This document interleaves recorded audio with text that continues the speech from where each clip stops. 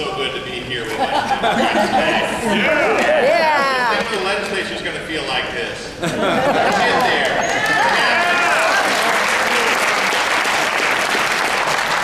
You know, it already feels a little bit better this year. It feels a little bit better because the work you all did last year, culminating in November's elections.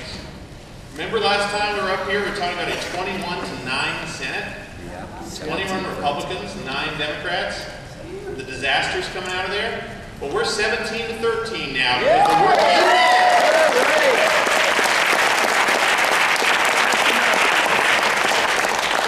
And it has already made a difference. Elections matter.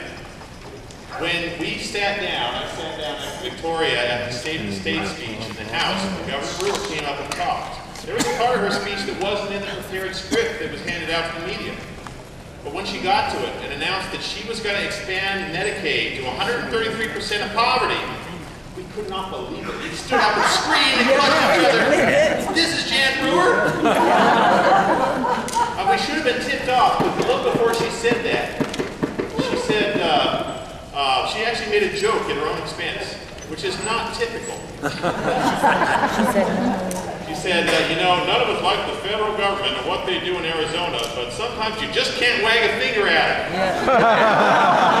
Come on, Jen, you're funny at own expense. That's what happened. Well, how it happened, all of a sudden she became pragmatic too and realized that it's insane to turn down $8 billion in the next four years to cover 133% of poverty and below. All those people, 250,000 more people.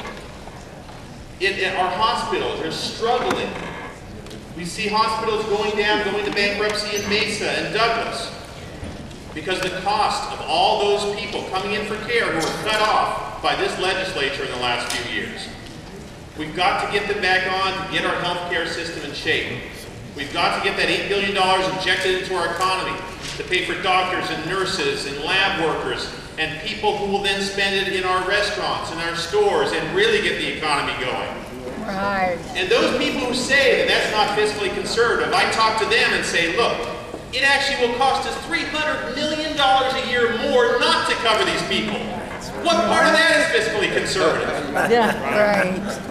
If they do that, if they decide to turn down this deal and reject that money and reject covering all these people here in Arizona, they are simply pay- paying a bribe to their ideological right. And it's our money they're paying the bribe with. Right. We cannot allow that to happen. I do not believe that will happen. But the reason that Jan Brewer decided to take this step was, yeah, there's a lot of money there. But she knew it was a different legislature, and it's a different legislature because of what you did. We saw the fruits of that as well when it came to the anti-union bills that we've seen year after year. A few weeks after we started, one of those bills came to the floors. It's Senate Bill 1182, which would have forbidden the unions from deducting, allowing uh, people who are union workers to have their pay deducted to pay union dues from their payroll. Would have devastated unions all over Arizona. It went down 17 to 12 on the floor. Wow. One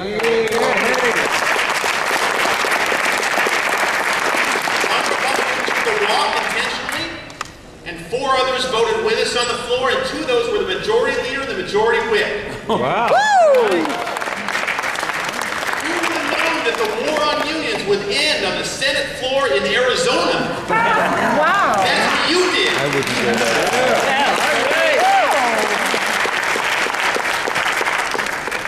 So there's still a lot more work to do, though. You know, there's there, we got to make sure and push through and make sure that this Medicaid restoration gets through. Yeah. Amen. And there's still some crazies there, let me tell you. Having been on the Government Environment Committee with Gail Griffin as the chair,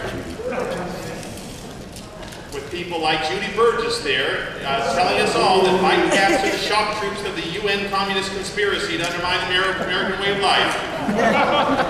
with Chester who's trying to make all forms of gold and silver legal tender throughout Arizona so your neighborhood shops can have assayers and scales there. Imagine how big the lines at the grocery store would get.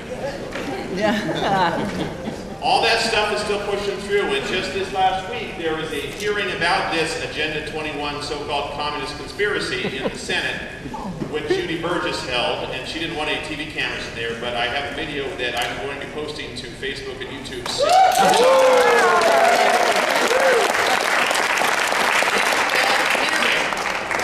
I was the only Democrat on the dais, and I was asking questions of former Senator Sylvia Allen, who's now a supervisor. I was asking questions to the Tea Party leader from California who was trying to tell us everything that was going on.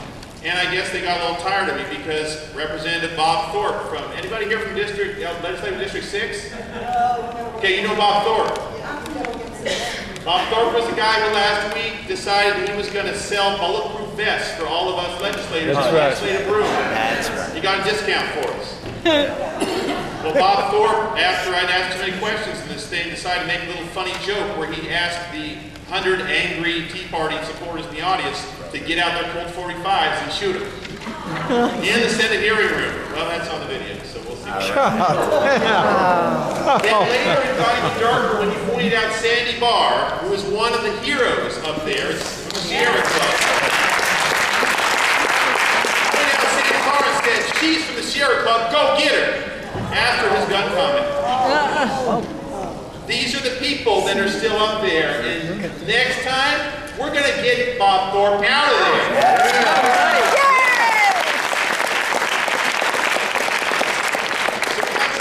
We still got some bad news, but we're gonna work on that bad news, and it's gonna be all good news next time we come back here. So